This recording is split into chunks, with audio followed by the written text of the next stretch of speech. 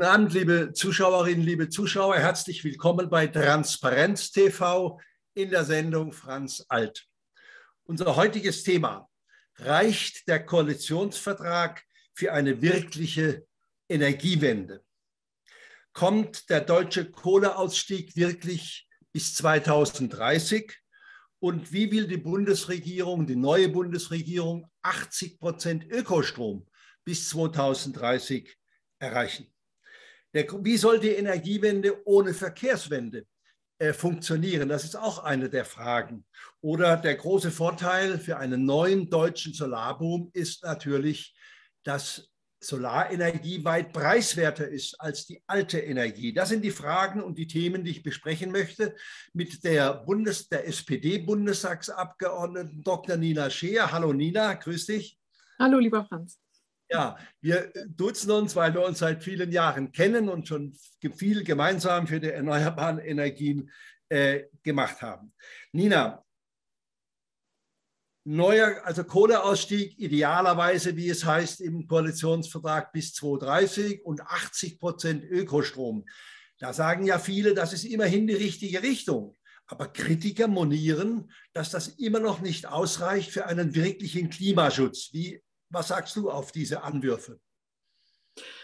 Ja, also wenn man einfach rechnet, was bis 2030 geschehen sein muss, um tatsächlich das Klimaschutzziel von Paris zu erreichen, dann müssten da in der Tat noch andere Zahlen stehen. Aber es ist ja die Frage, ob das das Maßgebliche ist ähm, für die nächsten Schritte, die jetzt unbedingt gegangen werden müssen, damit das 1,5 Grad Ziel erreicht werden kann, beziehungsweise die auch im Übrigen ressourcenpolitisch ähm, nötigen Schritte gegangen werden. Und zwar möchte ich darauf abstellen, dass für jedes Ziel, was man klimapolitisch sich setzt, unabdingbar ist, dass jetzt unmittelbar Maßnahmen greifen können, die uns überhaupt nur diese Option auf Zielerreichung geben. Die besten Ziele helfen nichts, wenn im Hier und Jetzt die Weichen nicht gestellt werden, diese Ziele auch erreichbar zu machen. Also es würde uns gar nichts helfen, jetzt zum Beispiel ein 2030-Ziel ähm, ohne Wenn und Aber zu haben, wenn nicht zugleich erreicht wird, dass wir jetzt die Hemmnisse beim Ausbau erneuerbarer Energien beseitigen. Idealerweise wäre natürlich beides drin, Jetzt habe ich auch das Wort idealerweise verwendet. Am besten wäre natürlich beides äh, drin. Aber meines Erachtens ist es viel wichtiger, und das ist enthalten im Koalitionsvertrag, dass wir äh, die, die Dinge, die jetzt im Wege stehen für die, Erreich äh, die Möglichkeit, das Klimaschutzziel zu erreichen, dass diese Dinge, die stehen drin. Die Beseitigung von Hemmnissen, einen zu forcierenden Ausbau erneuerbarer Energien, diese Dinge stehen drin. Und dann ist es möglich, dass wir genau mit diesen wichtigen Weichenstellungen auch die Zielvorgaben, die drin stehen, überrunden werden. Und das ist für mich der Knackpunkt, weswegen ich sage, ja, mit dem Koalitionsvertrag haben wir die Option, das 1,5 Grad Ziel zu, erhalten, zu erreichen, also das, das nicht zu reißen, diese Option, die Möglichkeit haben wir mit den Aussagen aus dem Koalitionsvertrag. Äh, richtig ist, wenn du sagst, äh, dass es viele bürokratische Hürden gibt. Ich habe ja. Leute erlebt, die waren ganz verzweifelt und haben gesagt, ich will eine Solaranlage auf meinem Dach machen, aber ohne Rechtsanwalt geht das gar nicht mehr. Was waren denn bisher die größten Hürden und was ist jetzt besser zu erwarten? Also es sind je nach, ähm, je nach Segment oder je nach Technologie verschiedene Hürden gegeben. Ähm, bei der Windenergie haben wir die viel zu langen Genehmigungszeiten, aber etwa auch Konflikte mit ähm, Naturschutzinteressen, also beziehungsweise einer Annahme von Naturschutzinteressen, möchte ich dazu sagen. Äh, Stichwort Artenschutz, der da in der Definition äh, häufig äh, kollidierte dann eben, wie gesagt, Genehmigungszeiten, aber ähm, eben auch andere planungsrechtliche, äh, emissionsschutzrechtliche Hürden, die insgesamt den, äh, den, den Windenergieausbau gehemmt haben, aber auch, äh, das haben ja auch die Entwicklungen der letzten Jahre gezeigt, äh, diese Tatsache, dass man immer mehr über Ausschreibungen nur noch ausbauen konnte, das hat der Akteursvielfalt nicht gut getan. Äh, wenn man bedenkt, dass die meisten Akteure der Energiewende eher die kleineren Akteure waren, dann äh, tut es der Energiewende einfach nicht gut, wenn die Anreizmechanismen gerade für diese Akteure weniger geworden sind. Und so war das in der Vergangenheit. Deswegen bei Windenergie muss man sagen, Ausschreibungen waren in dieser Form nicht hilfreich. Ähm, die, die Genehmigungshürden der genannten Art waren nicht hilfreich. Bei der Photovoltaik aber etwa auch die, ähm, der atmende Deckel war zuletzt ein, ein, ein Hemmnis. Es hätte ein Riesenhemmnis noch werden können, wenn zum Beispiel der Solardeckel im letzten Jahr nicht abgeschafft worden wäre. Das ist zum Glück noch in der Aufdrängen der SPD im letzten Jahr noch, ähm, noch, noch äh, geschehen, dass wir den abgeschafft haben. Ähm, es gibt ähm, für, für andere Formen der Energiegewinnung bei der Bioenergie natürlich nochmal ganz anderen Strauß von, von Schwierigkeiten, wie dies zu integrieren ist auch bei der Wasserkraft, bei Geothermie. Es gibt je nach Segment verschiedene Hemmnisse, aber bei den Säulen Windenergie, Photovoltaik sind es die Ausbauhemmnisse und auch die Mengenbegrenzungen, die mit den, mit, mit, der, mit den Organisationsschritten, die in den letzten, ähm, ja sagen wir mal, in den letzten zehn Jahren kodifiziert wurden. Ähm, mit, mit diesen Hemmnissen wurden tatsächlich die Triebfedern der Energiewende, die bis dahin gezogen haben, ein Stück weit abgebremst. Und äh, diesen, diese, das muss man wieder rückgängig machen. Und dann haben wir auch eben die Chance, was ich eben gerade schon meinte, dass die Ausbauziele überrundet werden, die jetzt eben auch im Koalitionsvertrag enthalten sind. Kann denn eine neue Bundesregierung, zum Beispiel den Bayern, wo die Abstände zwischen Windrad und dem nächsten Dorf oder dem nächsten Haus riesig sind, bis zu 2000 Metern, kann denn eine neue Bundesregierung den Bayern vorschreiben, diese wirklich idiotischen Abstände, muss man sagen, äh, äh, auszusetzen und, und abzuschaffen? Geht das denn überhaupt? Das ist eigentlich die logische Konsequenz. Also die, der Bundesrat hat ja, ähm, äh, der, der, Bundesrat muss sich ja auch äh, dazu verhalten. Und ähm, es ist jetzt die Situation, dass wir zwar einerseits dieses Landesrecht haben, äh, was nur über die kommunalen Entscheidungen gebrochen werden kann nach der jetzigen Rechtslage, aber das ist schwer genug, klar. Wenn aber nun im Koalitionsvertrag zum Beispiel dieses 2 Prozent Ziel steht, dass zwei Prozent der Landesfläche für Windenergie bereitgestellt werden muss. Klar, das ist jetzt erstmal nur eine Aussage, aber wenn man das umsetzt, dann wird Bayern nicht umhin kommen, dieses, äh, diese Begrenzungen, diese Abstände, diese 10H-Regelung zu kippen. Anders ist das nicht erreichbar. Und das gilt auch sicherlich für Nordrhein-Westfalen, wo die Abstände ebenfalls viel zu groß sind, um der Windenergie noch eine Chance zu geben. Ja, überall, wo Abstandsregelungen ähm, offenkundig äh, so pauschal begrenzend wirken, dass solche Flächenziele nicht erreichbar sind, muss das angepasst werden. Andernfalls wäre es Makulatur, sich hinter ein 2% Flächenziel zu, ähm, dem, dem sich zu verschreiben. Nina, in diesem Koalitionsvertrag ist oft von Klimaneutralität die Rede. Alle Welt redet von Klimaneutralität.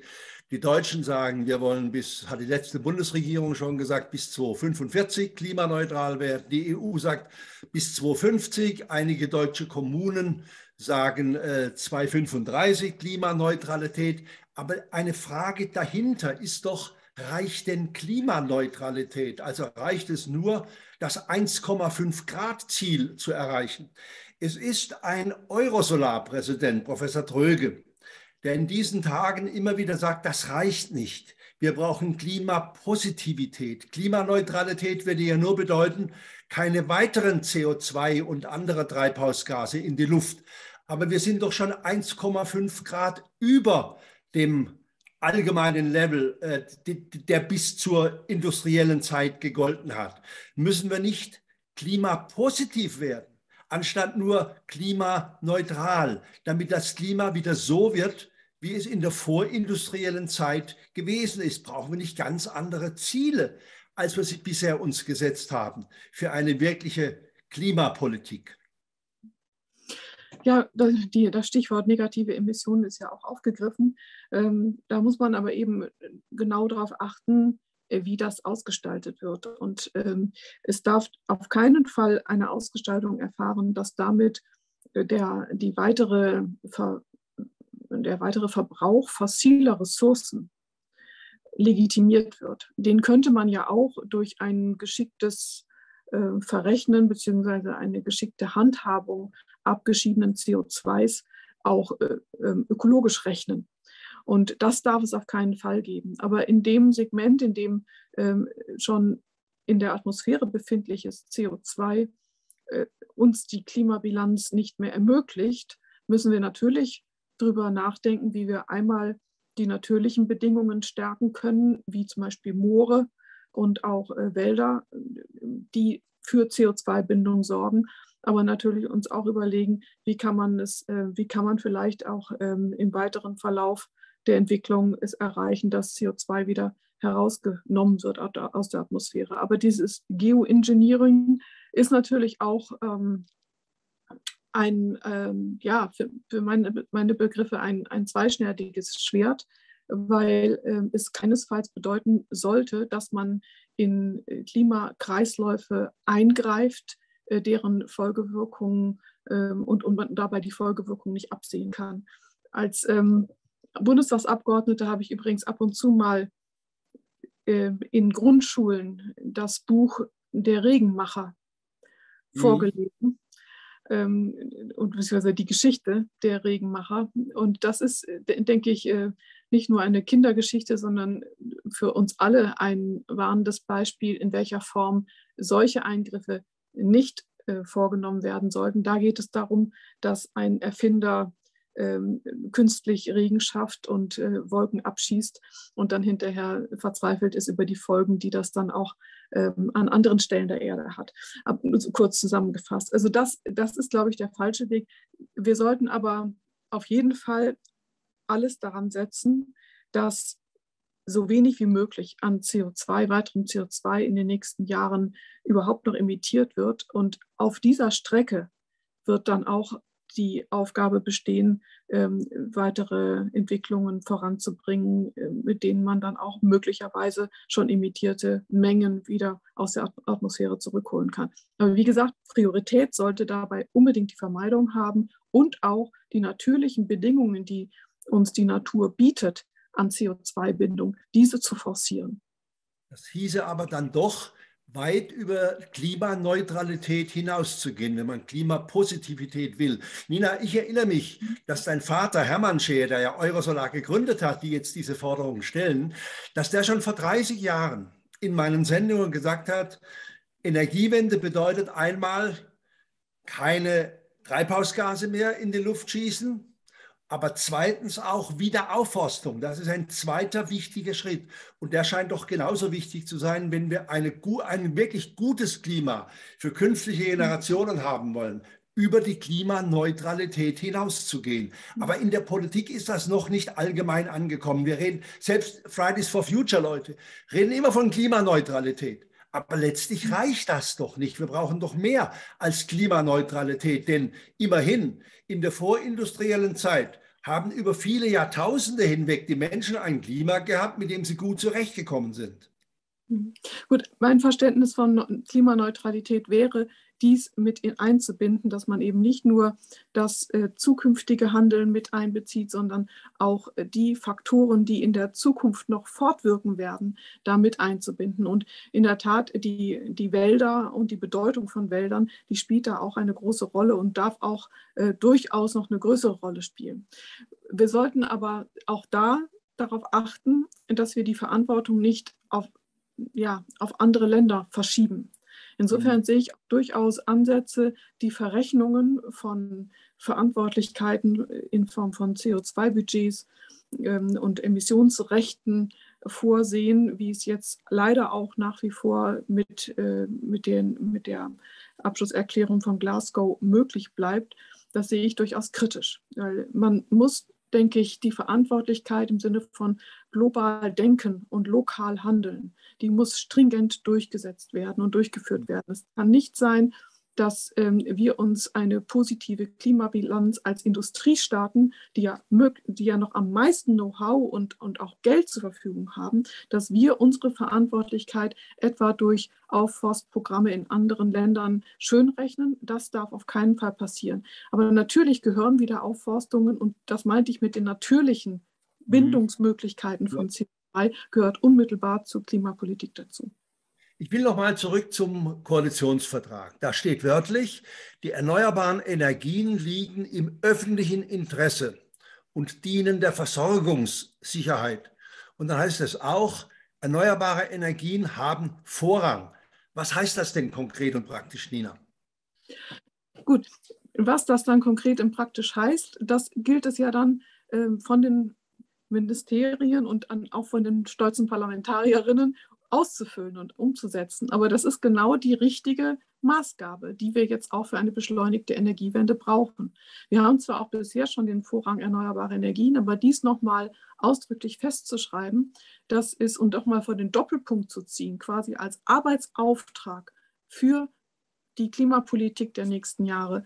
Das ist äh, genau der richtige Ansatz, denn ohne dies kann es sonst immer wieder passieren, dass wir zum Beispiel, wie in der Vergangenheit passiert, ähm, oder auch aktuell noch gültig, äh, trotz eines Vorrangs erneuerbarer Energien zur Abregelung von Windenergie kommen wegen Netzüberlastung. Und solche Dinge dürfen dann einfach nicht mehr sein. Und das ist übrigens ja auch richtigerweise jetzt im Koalitionsvertrag auch schon aufgegriffen, dass das nicht mehr stattfinden soll. Mhm. sondern die Energien müssen genutzt werden, die erneuerbar erzeugt werden und müssen auch insoweit vorrangig dann in den Netzen beziehungsweise durch, ähm, durch ähm, äh, Sektorkopplungsinstrumente aufgegriffen werden. Mhm. Im äh, Koalitionsvertrag steht auch, ich zitiere wörtlich, alle geeigneten Dachflächen sollen künftig für die Solarenergie genutzt werden. Bei gewerblichen Neubauten soll die Solarenergie verpflichtend bei privaten Neubauten soll es die Regel werden. Was heißt das denn genau? Was heißt die Regel? Also nicht immer und grundsätzlich? Gut, in der, in der Vergangenheit war es etwas ähm, strittig in der Frage der Umsetzung. Wir hatten uns ja schon mal intensiv damit beschäftigt, dass wir Pflichten bekommen zur Nutzung von Dachflächen, äh, dass es dann hieß, ja, okay, kann man denn eigentlich noch etwas fördern, was ohnehin verpflichtend ist? Mhm. Und ich verstehe diese Aussage so, dass wir nun den Auftrag haben, es auszugestalten, dass alle Dachflächen genutzt werden, aber man damit eben trotzdem eine Förderung beim Ausbau von privaten Dachflächen noch zugleich hat was, und damit eben keine Kollision zwischen Pflicht und Förderung. Mhm. Im Koalitionsvertrag steht auch, dass die äh, neue Bundesregierung im Ausbau der erneuerbaren Energien ein Konjunkturprogramm für Mittelstand und Handwerk sieht. Wie ist das denn zu verstehen? Sollen da neue Jobs geschaffen werden zum Beispiel? Also wir haben ja an vielen verschiedenen Stellen Aussagen auch für zukunftsfeste Arbeit, sage ich jetzt mal mit meinen Worten, etwa auch, ähm, wenn es darum geht, den Kohleausstieg vorzuziehen. Äh, da geht es ja auch ganz klar darum, dass man äh, die Menschen, die dort in Beschäftigung sind, im Kontext der Kohleindustrie, dass die eben auch äh, in zukunftssichere Arbeit ähm, da, ihre, da, da aufgegriffen, aufgenommen werden können und dass sie dort etwas finden. Deswegen werden die Struktur Wandelprogramme und Konjunkturprogramme natürlich Vielfaches abdecken müssen. Einmal, dass dieser Strukturwandel verschärft wird, weil das, was wir bisher gesetzlich geregelt haben, das hatte ja ein späteres Ausstiegsdatum ähm, zum Ziel. Insofern muss da ja noch mal was nachgebessert werden. Ähm, zum Zweiten ist ja auch bekannt, dass äh, vielerorts uns Fachkräfte fehlen.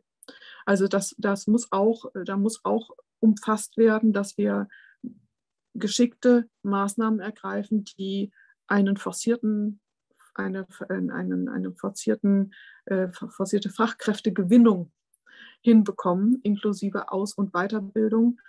Ähm, und meines Erachtens muss da auch unbedingt hinein, ähm, dass man da eine Verknüpfung auch zu Migrationsfragen ähm, hinbekommt, weil es ist nun mal ja bekanntermaßen so, dass äh, sehr viele Menschen, die bei uns auch Zuflucht gefunden haben und unter ganz anderen Gründen als arbeitsorientierten äh, Gründen Zuflucht gefunden haben, dass die aber sehr wohl bereit wären, hier genau diese Wende mitzugestalten und hier auch ähm, insofern Arbeit finden können. Aber was das im Einzelnen heißt, das müssen wir eben auch ausgestalten. Klar ist aber das Ziel. Klar ist, dass wir, die, dass wir den Ausbau der erneuerbaren Energien in einem äh, also in, in, in einem ja, deutlich zu beschleunigenden, in einer deutlich zu beschleunigenden Form hinbekommen müssen. Das sagen auch die segmentorientierten Zahlen, die da drin stehen. Wenn wir, wenn wir mit dem Koalitionsvertrag von einem Energiebedarf, einem Strombedarf von bis zu 750 Terawattstunden 2030 ausgehen, das ist ja dann auch deutlich mehr als bisher unterstellt wurde und davon 80 Prozent Erneuerbare, ähm, dann bedeutet das, dass man in, in vielerlei Hinsicht ähm, ordentlich aufs Tempo drücken muss. Und mir ist wichtig, dabei immer zu betonen, das darf nie ein Mengenbegrenzungsziel sein, sondern wir müssen hm. solche Mechanismen finden, die da auch lauten können, wir können auch diese Ziele überrunden und das ist auch, das muss vom Ziel mit ähm, umfasst sein. Andernfalls wäre es ein Widerspruch zu dem gleichermaßen enthaltenen Bekenntnis zum 1,5 Grad Ziel äh, Klimaschutz vom Klimaschutzvertrag in Paris. Nina, von außen ist es schwer nachzuvollziehen, warum nicht klipp und klar steht, Kohleausstieg 2030, ohne dieses schwammige Wort äh, idealerweise. Es ist doch bitteschön in neun Jahren auch Bergbaukumpels zuzumuten, sich umschulen zu lassen. Und auch die letzte Bundesregierung hat da schon Milliarden zur Verfügung gestellt. Warum ist das denn so wahnsinnig schwer, schlicht und einfach zu sagen, Kohleausstieg spätestens bis 2030? Fachleute sagen, das könnte auch viel früher äh, passieren. Was, was waren denn da die eigentlichen Hürden, das so klipp und klar festzulegen? Im Detail kann ich dazu ähm, nichts sagen. Es ist aber ähm, auch nach meiner Überzeugung notwendig, dass man das bis 2030 schafft. Ich habe nicht umsonst einen Initiativantrag zum Bundesparteitag zum Wahlprogramm gestellt, ähm, auch unserem Wahlprogramm, SPD-seitigen Wahlprogramm, in dem ich das gefordert habe. Und ich sehe es eben auch als ähm, eigentlich nur als mit Chancen verknüpft, äh, da man ja immer auch unterstellen muss, dass es passieren kann, dass der Energiemarkt äh, diese Entwicklung überholt. Ja, und gerade ja. auch im Interesse von äh, der Beschäftigten ist es insofern, also gerade mit Blick auch auf die Beschäftigten, ähm, unabhängig von der klimaschutzpolitischen Frage, äh, ist es insofern besser, früher aus der Kohle ausgestiegen zu sein als später und vor allem besser früher als später, als, als es der Markt dann richten wird. Ne? Und das kann eben passieren, dass der Markt es äh, sowieso schon vorher richtet. Also insofern, ich kann, kann da nur ähm, beispringen, ja, es, der frühere Ausstieg wäre wäre unter vielen Gesichtspunkten der äh, sicherere und bessere Weg. Ähm, meine Vermutung ist nur, beziehungsweise ich, ich, ich schätze es so ein, dass es natürlich ähm, jetzt trotzdem auch mit der, mit, mit der Formulierung idealerweise ein weiter Schritt ist, von den 1 2038 nun auf die 2030 gesprungen zu sein. Und man darf nicht unterschätzen, dass das ja alles gesetzlich unterlegt wurde, auch mit Strukturhilfen und auch mit einem gesetzlichen Ausstiegspfad ähm, mit dem Kohleausstiegsgesetz. Und wenn etwas gesetzlich fixiert wurde, dann ähm, wird natürlich in dem Moment, wo man auf eine Veränderung dieser gesetzlichen ähm, dieses gesetzlichen Ausstiegspfades geht, immer auch mit zu bedenken sein, wie viel Entschädigungszahlungen kommen hier vielleicht dann ähm, auf uns zu. Und da vermute ich, dass man einen Weg wählen wollte, der Entschädigungszahlungen ausklammert. Und ähm, mit im idealer Weise ist dies jedenfalls erstmal gewährleistet meines Erachtens, weil es eben keine fixe Formulierung ist, keine scharfe Formulierung ist und somit dann auch ähm, Entschädigungszahlungen wohl erstmal auszuklammern wären. Aber man muss natürlich bei der Ausgestaltung darauf achten, ähm, dass es äh, dem, den Staat nicht teurer kommt, als es sein muss in der Ausgestaltung. Aber meines Erachtens äh, führt auch kein, führt kein Weg daran vorbei, ähm, diesen, diesen Pfad so zu gehen und es insgesamt so auszugestalten, dass wir bis 2030 es geschafft haben werden, aus der Kohle ausgestiegen zu sein. Mhm. Der Koalitionsvertrag sagt auch, wir brauchen moderne Gaskraftwerke. Äh, brauchen wir wirklich Gaskraftwerke? Wäre es nicht besser, den Ausbau der Erneuerbaren zu beschleunigen? Denn auch Gas ist ein fossiler Rohstoff und macht das Klima kaputt, genauso wie Kohle oder Öl. Das wissen wir doch äh, seit langem. Und das ist natürlich äh, auch äh, zur Freude von Herrn Putin vielleicht, dass er die, die Ostsee-Gasleitung doch noch in äh, äh, Kraft nehmen kann, in Betrieb nehmen kann. brauchen wir wirklich noch Gaskraftwerke?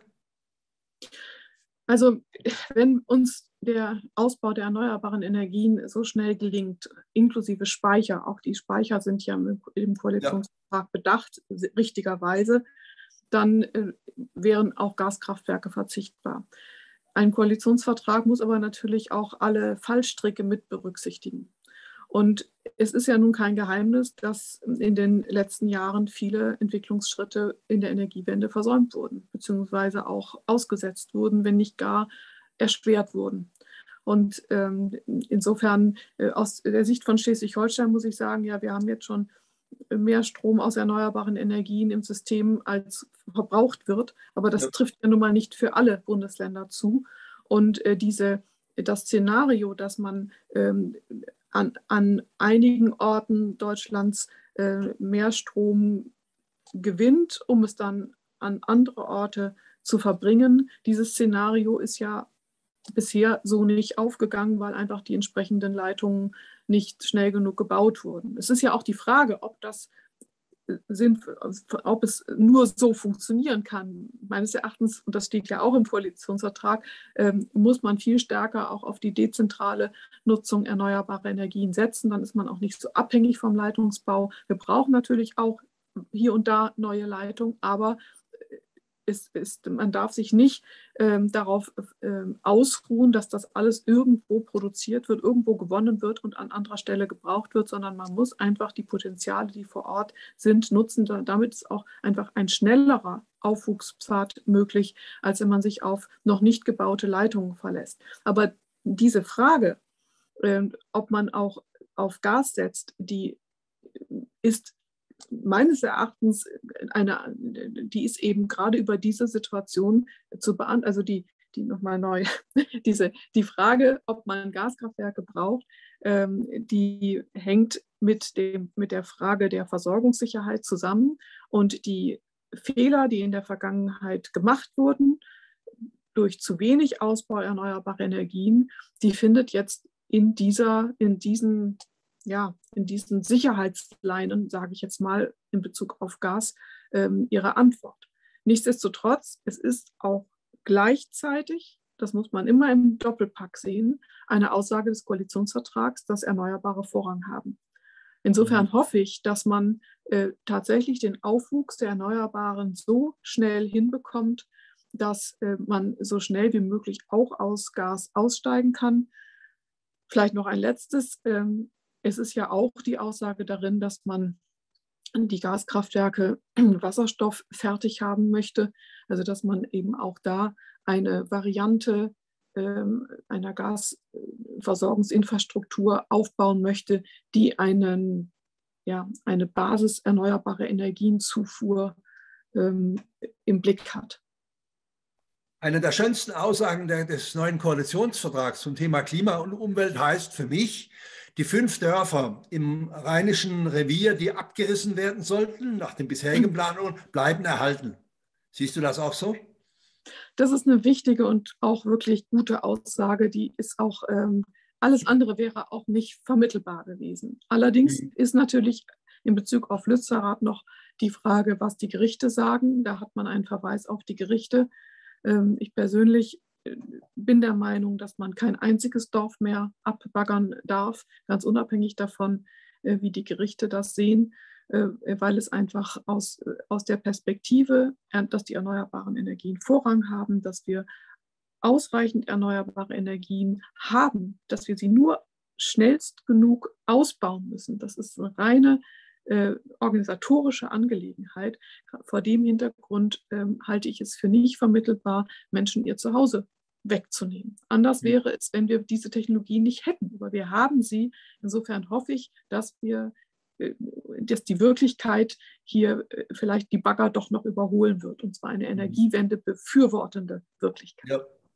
Äh, eine ganz andere Aussage im Koalitionsvertrag heißt Klimapartnerschaften sollen im Rahmen der deutschen G7-Präsidentschaft 2022 gegründet werden. Was heißt das denn? Was das genau heißt, das haben wir noch politisch auszugestalten. Aber es, ist, es knüpft ja an die, ähm, an die Entwicklung an, die man jetzt auch in Glasgow beobachten konnte, dass es eben überall dort, wo es noch keine Einigkeit unter allen teilnehmenden Staaten gibt, man dann doch wenigstens schon mal Ansätze machen möchte, vielleicht auch in Form von Vorreiterrollen, ähm, die dann eben bilateral oder in, in, in kleineren Gruppen, in kleineren äh, Staatenbünden ähm, vorgenommen werden. Das kann als Vorreiterrolle ähm, genutzt werden und sollte auch so verstanden werden, meines Erachtens. Man muss natürlich immer dabei auch berücksichtigen oder mit darauf achten, dass man niemanden damit abhängt. Es, es sollte also im, im, positiven Sinne als Vorreiterrollen, äh, die, die den Möglichkeiten dieser Staaten entsprechend ja auch aufgegriffen werden können, verstanden werden. Äh, mich lässt hoffen, dass äh, der Klimaschutz deshalb vorangetrieben wird durch eine neue Bundesregierung, weil drei Schlüsselpositionen in der Hand der Grünen sind. Jetzt eine Frage an die SPD-Klimaexpertin. Lässt sich das auch hoffen? Wir haben immerhin, wir haben gerade von, den, äh, äh, von der Klimaaußenpolitik gesprochen. Wir haben eine grüne Außenministerin. Wir haben einen grünen Wirtschafts- und Klimaminister und wir haben einen grünen Landwirtschaftsminister nach heutigem Kenntnisstand. Lässt das die SPD-Klimafrau äh, äh, Nina Scheer hoffen, dass das einen Schwung gibt für den gesamten Klimaschutz? Also ich verstehe dieses Ampelbündnis im Positiven so, dass man ähm, wirklich eine Einvernehmlichkeit hergestellt hat. Und äh, diese Einvernehmlichkeit bedeutet letztendlich, dass man auch mit einer anderen Zuteilung der Ressourcen zu genau den gleichen Ergebnissen kommen würde in der Praxis. Wenn das nicht zu unterstellen wäre, dann hätte man nicht diese Einvernehmlichkeit. Und dann hätte man auch nicht das Verständnis, das gemeinsame Verständnis für den Koalitionsvertrag, wie es aber jetzt ja erklärt wurde und auch zu unterstellen ist. Insofern ähm, möchte ich daraus auch keine Konkurrenzsituation erwachsen lassen, sondern ähm, erwarte auch, dass wir uns alle, inklusive FDP, äh, hinter diese Vorrangigkeit erneuerbare Energien stellen. Das muss ja auch in der Instrumentenwahl dann stattfinden. Und ähm, und dass dies dann auch wirklich so umgesetzt wird, auch, auf, äh, auch ähm, im Verkehrssektor, dann äh, ja, das, das, das ist eine Erwartungshaltung, die mit dem Koalitionsvertrag alle drei Parteien und ihre Mitstreiter unterschrieben haben oder unterschreiben werden. Ja, also da bin ich äh, als Außenstehender skeptisch. Äh, natürlich ist es ein Zugeständnis an die, an die, FDP gewesen, dass keine Geschwindigkeitsbegrenzung kommt auf Autobahnen. Das wollten die Grünen, das wollte die SPD. Und jetzt besetzt die FDP ja auch noch das Verkehrsministerium, so wie es jetzt äh, aussieht. Das heißt also, Verkehrswende ist wohl Fehlanzeige, sage ich mal ganz schlicht. Verkehrswende ist Fehlanzeige. Und die FDP hat ja auch großen Wert gelegt darauf, dass sie äh, dass dieses Ministerium besetzen wird. Und ich fürchte, eine, eine wirkliche Energiewende, die den Namen verdient, ohne Verkehrswende, kann und wird es letztlich nicht geben. Was lässt sich trotzdem so optimistisch sein? Also ich möchte, mit, möchte hier keinen Doppel, nicht, nichts vor den Doppelpunkt setzen, was irgendwo einfach nur hohler Optimismus wäre, sondern das ist von mir eine Erwartungshaltung, die sich aber mit den Aussagen des Koalitionsvertrags rechtfertigen lässt. Und, ähm, und auch ohne Ausnahme, also beziehungsweise ohne Hintertür. Ähm, für das, was ich gerade als Antwort, also das, was ich gerade als Antwort auf die Frage gegeben habe, äh, was in Richtung grüne Ressorts zu mhm. erwarten mhm. Das gilt natürlich komplementär genauso in Richtung FDP-geführtes Ressort. Auch in einem FDP-geführten Ressort muss eine Politik stattfinden, die zwischen den drei Partnern geeint ist. Und äh, das kann also nicht lauten, dass sich hier, nur weil das Verkehrsministerium bei der FDP liegt, dass hier eine FDP-Politik gemacht wird, sondern es ist das dort auszuführen, was man und, und der Geist des Koalitionsvertrages ist dort auszuführen mit den Aussagen natürlich, die auch da getroffen wurden, ähm, die, die im Ampelbündnis geschlossen wurden. Und wenn es ganz klar ein, ein Bekenntnis zum 1,5 Grad Ziel gibt, wenn es ganz klar die Vorrangigkeit erneuerbarer Energien gibt, Ausbauszenarien gibt und man weiß, dass man hier eine Sektorkopplung ähm, zu implementieren hat, das ist ja auch an, an vielen Stellen enthalten, wie weit die Energie, die, die Stromwende auch in den Verkehrssektor hineinragt, dann haben wir sehr wohl ein klares Bekenntnis auch zur Mobilitätswende im Koalitionsvertrag. Und mhm. eine Erwartung ist, und deswegen nicht nur Optimismus, sondern klare Erwartungshaltung, dass äh, der FDP-Minister sich in der Umsetzung dieses Auftrages nicht unterscheiden wird von einem grünen Minister und einem SPD-Minister. Mhm. Alles auch gender gegendert, wohl bemerkt. Lina, dein Optimismus in Ehren, aber bitte mal Hand aufs Herz. Es ist doch zu befürchten, dass ein FDP-Verkehrsminister die alte CSU-Verkehrspolitik fortführt, nach dem alten klassischen Motto freie Fahrt für freie Bürger. Und so steht es ja nun auch noch im Koalitionsvertrag. Äh, was wird dann eine Nina Scheer in dieser Situation tun, als mit, Glied der Bundesregierung oder äh, der Fraktionen dieser Bundesregierungen, wenn die FDP dabei bleibt, äh, freie Fahrt für freie Bürger, so was die CSU gemacht hat, und sie erreicht eben die Ziele, die notwendig sind, nicht. Könnte das nicht ein Sprengsatz für die Koalition werden? Wie gesagt, ich möchte ja das Wort Optimismus meinerseits jetzt nicht verwenden, sondern Erwartungshaltung. Mhm. Ähm, sehe sehr wohl, dass der Koalitionsvertrag auch in Richtung Mobilitätswende klare Maßgaben enthält, äh, weil, weil eben Aussagen enthalten sind, die für alle Sektoren gelten. Mhm. Und äh, deswegen wird sich, egal in wessen Hand ein Ministerium ist, sich jeder daran zu halten haben.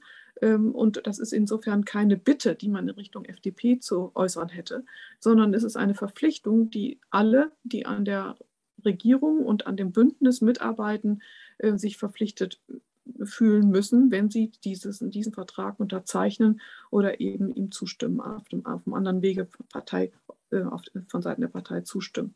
Und wenn es eben einzelne Maßnahmen bedauerlicherweise nicht geschafft haben in den Koalitionsvertrag, wie zum Beispiel äh, die Geschwindigkeitsbegrenzung, das Tempolimit, das allgemeine, dann ähm, muss es mit der weiter, weiter aber doch enthaltenen Aussage, dem Bekenntnis zum 1,5 Grad Ziel, andere Maßnahmen geben, die das äh, entsprechend kompensieren. Das muss dann auch klar sein. Dieses Bekenntnis ist im Koalitionsvertrag drin und die, in der Ausgestaltung wird das dann eben die Aufgabe äh, von sowohl der Regierung als auch dem Parlament sein, äh, dies pfadgenau zu machen. Es kann aber nicht sein, dass ähm, das 1,5 Grad Ziel nur ein nettes Etikett ist und alle anderen Dinge ähm, mhm werden hart gestellt oder werden, werden hart äh, wahrgenommen, sondern nein, nein, äh, auch grundsätzliche Aussagen sind klare Aufgaben, die dann eben nur noch ausgestaltet werden müssen.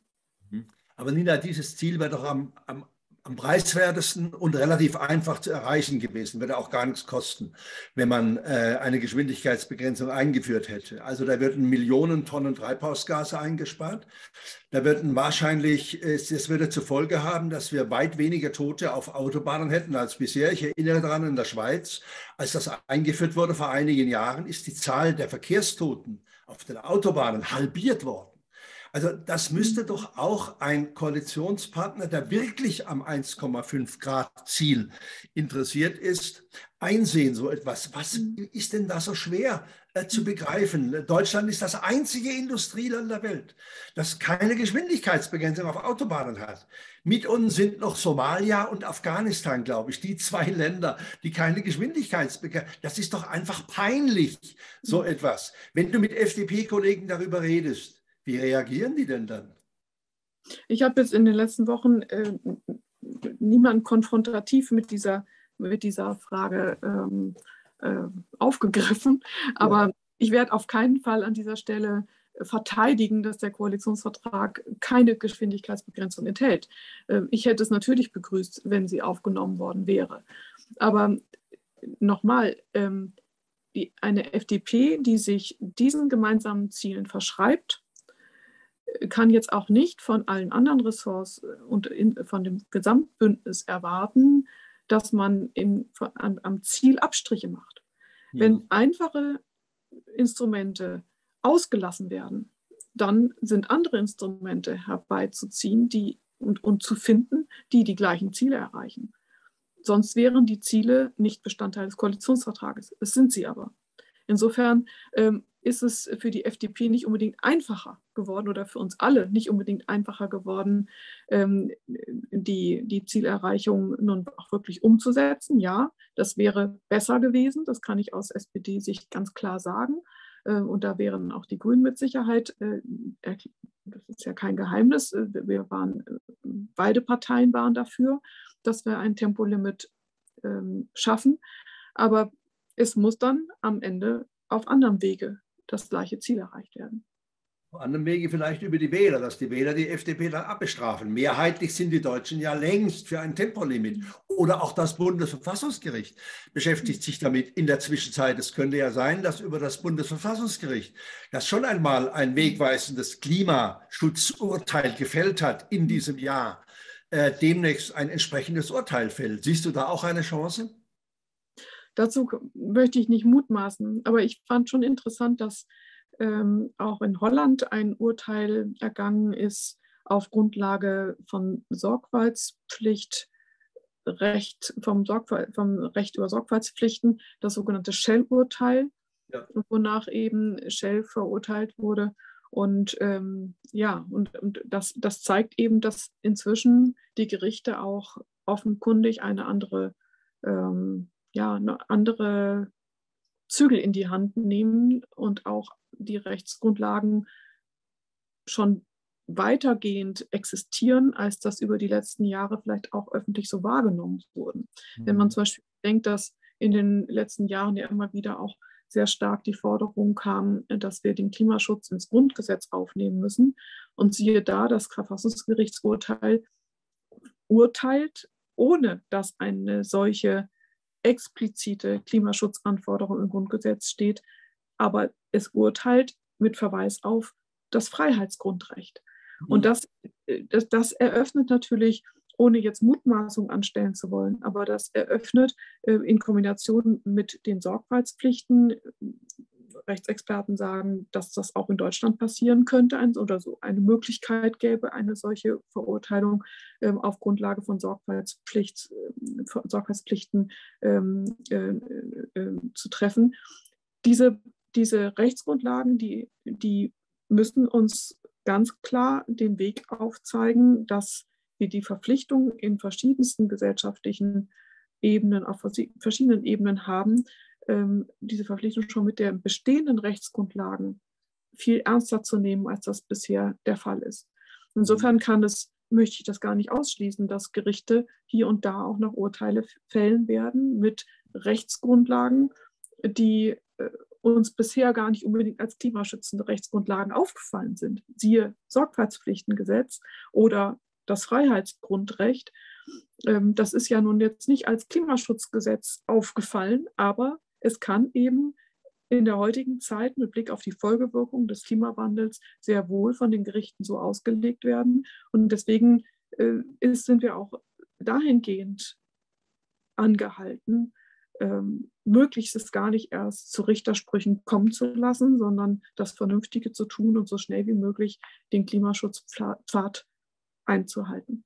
Es sind ja Gerichte auf der ganzen Welt, die analog dem Urteil aus Karlsruhe heute Recht sprechen und äh, Klimaschutz mehr einfordern in ihren Ländern und von ihren Regierungen. Die Überschrift zu diesem neuen Koalitionsvertrag, Nina, heißt ja mehr Fortschritt wagen, angelehnt an Willy Brandt, mehr Demokratie wagen oder auch Angela Merkel, das haben viele Kolleginnen und Kollegen vergessen in diesen Wochen, die hat mal gesagt, mehr Freiheit wagen. Und die Unterzeile dieses neuen Koalitionsvertrags heißt ja Freiheit, Gerechtigkeit, äh, nachhaltige, nachhaltiger Wohlstand. Da sind ja alle drei Parteien sozusagen vertreten. Freiheit, die FDP, Gerechtigkeit, deine Partei, die SPD und nachhaltiger Wohlstand, die Grünen äh, äh, mit, mit ihrer Umwelt- und Klimaschutzpolitik. Äh, lässt dich diese Überschrift hoffen, dass sich alle drei, aber auch an alle drei Überschriften erinnern und nicht nur an die, die Ihnen äh, gerade Partei. Ja, also es ist nicht nachhaltiger Wohlstand, sondern Nachhaltigkeit, ja, also Bündnis für Freiheit, Gerechtigkeit und Nachhaltigkeit. Und ähm, ich fühle mich übrigens da auch sehr an die Grundwerte der SPD, Freiheit, Gerechtigkeit, Solidarität, ja, mhm. Nachhaltigkeit im Sinne von Solidarität auch ähm, erinnert. Es ist, es ist die, die Pflicht von oder die, der Auftrag ja, und insofern auch meine klare Erwartungshaltung an eben dieses Bündnis, dass die, alle Begrifflichkeiten, die da enthalten sind, ähm, aufgegriffen werden. Aber der Nachhaltigkeitskontext oder die, die, die, das Selbstverständnis von Nachhaltigkeit ist ja eben, dass ähm, es unterm Strich ähm, nichts gegen, also dass, dass die Nachhaltigkeit das Maß aller Dinge sein kann, nur, nur das Maß aller Dinge sein kann. In dem Moment, wo eine Fragestellung Freiheit oder Gerechtigkeit nicht der Nachhaltigkeit entspricht, wird kein Schuh daraus. Also die, die, die ökologische und soziale äh, Verpflichtung, etwas so aufzustellen, dass die Nachwelt auch tatsächlich äh, nicht schlechter gestellt ist, als wir es für uns selbst es wünschen. Also quasi der Imperativ, der darin enthalten ist, der, ähm, der besagt ja, wie auch Freiheit und wie auch Gerechtigkeit zu verstehen. Es ist eine Definition von Gerechtigkeit und es ist auch eine Definition von Freiheit. Nichts anderes hat ja das Verfassungsgerichtsurteil auch gesagt. Es hat uns definiert, wie in Zeiten des Klimawandels und der Klimaverantwortlichkeit der Menschheit überhaupt Freiheit nur noch ausgelegt werden kann. Es ist ein neuer Freiheitsbegriff, eine neue, eine neue Definition von Freiheit, mit der wir umzugehen haben. Und äh, insofern auch eine Ausgestaltung des Nachhaltigkeitsbegriffs, so verstehe ich äh, den, verstehe ich ähm, den Koalitionsvertrag mit dem Untertitel. Und letztendlich ist es eine, eine Beschreibung der ersten Überschrift des Koalitionsvertrags. Der Fortschritt kann nicht ein Fortschritt sein, der diesem Freiheitsverständnis im Lichte des Verfassungsgerichtsurteils oder dem Gerechtigkeitsbegriff im Lichte von Nachhaltigkeit widerspricht. Fortschritt mhm. hat sich dem unterzuordnen, was der Untertitel uns in, im Kontext nachhaltige Entwicklung aufgibt. Nina, angenommen, du hättest allein den Koalitionsvertrag geschrieben. Was wäre denn drin, was wäre denn drin gestanden gegenüber dem, was jetzt drin steht? Was wäre noch zusätzlich drin gestanden? Ja gut, es ist, ähm, das ist natürlich jetzt so ein bisschen wünscht dir was. Ich weiß gar nicht, ob das so zielführend ist, auf, äh, auf eine solche Frage einzugehen, weil das so gegen eine Einigung ist. es trotzdem ja. mal. Aber es ist, es ist ähm, also ich hätte natürlich äh, eine, ein, ein klareres, äh, eine, ja, alles, was, was den Anschein hat, oder was möglicherweise einem, einer beschleunigten Energiewende noch im Wege stehen könnte an Aussagen. Das, äh, das hätte ich, ne, hätte ich äh, eingeklammert, zum Beispiel auch in Richtung Europäische Union, dass man da doch versucht, irgendwo noch eher auf den Emissionshandel zu setzen. Das finde ich zum Beispiel riskant. Ja. Mhm. Ich äh, hätte es lieber gesehen, wenn man da stärker auch in Richtung Europäische Union auf, ähm, auf die unmittelbar greifenden Maßnahmen setzt. Ich hätte es zum Beispiel auch gut gefunden, wenn wir noch kritischer mit den Ausschreibungen ins Gericht äh, gezogen wären als jetzt. Aber immerhin, die De Minimis-Regelung soll ausgeschöpft werden. Das zeigt ja auch schon mal, dass wir wieder, dass wir äh, weg wollen von dem strengen Diktat ähm, der Ausschreibungen. Und ähm, es ist, äh, ja, es sind, es sind viele, es sind so einige weitere Bereiche oder die, was nicht enthalten ist, ist eben, wie wir mit dem ähm, atmenden Deckel jetzt umgehen. Ja, das ist also da wären noch ein paar Fragestellungen aufzugreifen gewesen, die, die vielleicht den, den beschleunigten Ausbau noch sicherer beschleunigt hätten ausgestalten lassen. Aber diese Fragen, das finde ich eben auch, insofern bleibe ich auch bei meiner ähm, Erwartungshaltung in, in Richtung und, und, und will mich gar nicht auf eine Kritik so sehr einlassen, weil im Grunde genommen sind das Dinge, die jetzt nicht ausgeschlossen sind. Also vielleicht mhm. ist es das Tempolimit, weil man so, so direkt darüber diskutiert hat und weil man weiß, ja, das hat die FDP definitiv nicht gewollt und es ist kein Zufall, dass es nicht drinsteht. Aber viele andere Detailfragen, die nicht drinstehen, die lassen sich trotzdem nach Maßgabe der, nach, nach den enthaltenen Maßgaben jetzt noch definieren. Mhm. Deswegen sehe ich es auch nicht unbedingt als ein Manko an, wenn bestimmte Aussagen, die ich gerne drin gehabt hätte, jetzt nicht drinstehen, weil sie eben mit anderen Aussagen sehr wohl jetzt noch in die Umsetzung zu bringen sind. Mhm. Nina, wenn dich deine Tochter fragt, Mama, habe ich eine gute Zukunft? Du bist doch da dabei in der Politik und du kannst doch da mitentscheiden. Was sagst du ihr denn dann? Gut, sie ist schon ähm, mit ihren 17 schon ähm, sehr gut selbst informiert und äh, braucht äh, für diese Einschätzung nicht mehr meine Einsortierung. Auch, gleichwohl unterhalten wir uns natürlich auch über diese Fragen. Und ähm, äh, es ist zwischen uns kein Geheimnis, dass, in den letzten, dass, wir, dass das in den letzten Jahren, das ist auch meine Sicht auf die Dinge ist, in den letzten Jahren leider äh, kostbare Zeit ähm, ungenutzt blieb. Ja. Äh, für die Energiewende. Und das ist natürlich eine, eine schon gro sehr große Bürde, weil man weiß, es ist ja, es wäre möglich gewesen. Ja?